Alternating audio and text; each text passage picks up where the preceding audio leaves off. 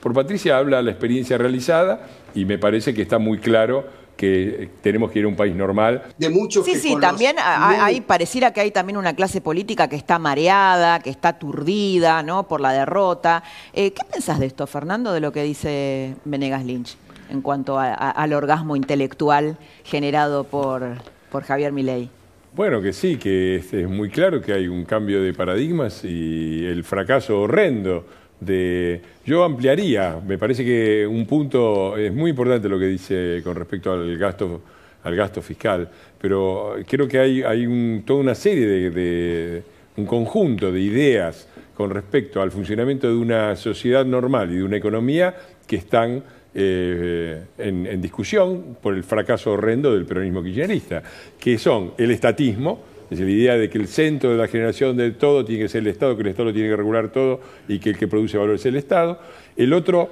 que me parece es el nacionalismo, entendido como proteccionismo, la idea de que para proteger el trabajo y el bienestar hay que cerrar las fronteras. Cuando uno mira el mundo, los países más ricos son los de fronteras más abiertas y los más integrados a la economía global, no lo contrario. Eh, otro que me parece fundamental también, eh, y en discusión ahora, es el industrialismo, es la idea de que todos los sectores económicos tienen que tributar a la industria porque la industria es la que nos va a sacar. Bueno, eso evidentemente no ha funcionado y la industria tiene que ser un sector económico más con la misma dignidad y no más ni menos que los otros. Todo eso ha sido puesto en discusión por el fracaso enorme del peronismo kirchnerista que lo ha aplicado bueno, de, de la Argentina y Venezuela. Miremos Latinoamérica y con gobiernos más de derecha, más de izquierda, etcétera, pero todos los países de, Sudamérica han mejorado en estos últimos 20 años, todos han ido a un sistema que los ha llevado a una inflación menor al- de un dígito o, eh, anual, de un dígito, eh, todos han mejorado la productividad, todos han mejorado, eh, han disminuido la, la pobreza, han mejorado la educación, mejorado la salud, excepto dos países que han aplicado este esquema del nacionalismo industrialista, estatista y proteccionista, que son Argentina y Venezuela. Bueno, tenemos una explicación que dio Patricia Ulrich, que como, les contaba recién, lo- dice muy claramente, qué es lo que está proponiendo. La escuchamos. hay infinidad de casos donde hoy uno de, los temas que estamos viendo, que es el robo en, moto, los que nosotros podemos llamar los motochorros, que al huir de la escena del, crimen,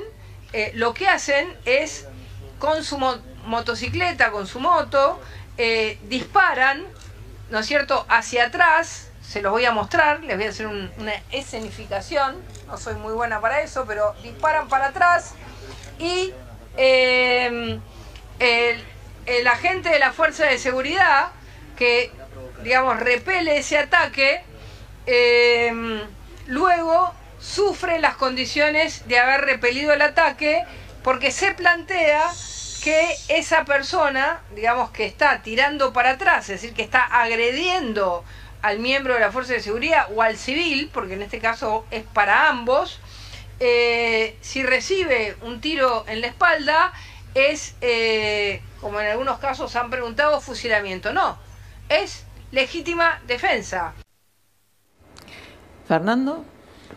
Bueno, yo creo que por Patricia Bullrich hablan sus cuatro años de ministra de Seguridad. No solo hubo una disminución notable en la cantidad total de crímenes, de muertos por homicidio, sino que hubo una disminución en la cantidad de eh, personas caídas por acción de las fuerzas de seguridad. Es decir, no hubo gatillo fácil, no hubo gatillo fácil, todo lo contrario, hubo una limitación, por eso hubo menos muertos a manos de las fuerzas policiales y eso disminuyó el crimen. Y eso la única explicación que, tiene. Es muy sencilla, que es que la firmeza y la convicción y el hecho de que el Estado esté del lado del policía y no del delincuente, no solo no aumenta la violencia, la disminuye, porque llevamos durante el kirchnerismo tuvimos la política opuesta, que fue la de poner al Estado del lado del delincuente, aplicar la doctrina Zaffaroni, eh, caerle a la fuerza de seguridad y lejos de bajar la violencia, todos sabemos cómo ha crecido con núcleos de, enorme dificultad como Rosario. Así que me parece que por Patricia habla la experiencia realizada y me parece que está muy claro que tenemos que ir a un país normal. Lo que está pasando en Ecuador nos tiene que servir de lección y, y la situación en Rosario es suficientemente dramática.